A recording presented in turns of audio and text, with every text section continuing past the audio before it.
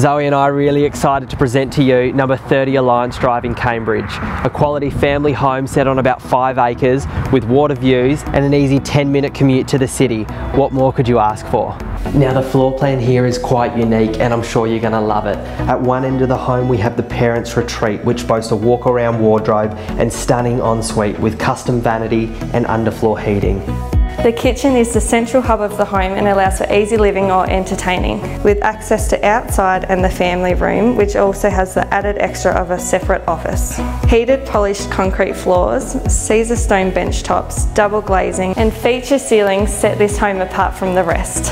A separate guests or kids wing provides great privacy and space and this area is serviced by a dedicated master bathroom with gorgeous bath and large walk-in shower.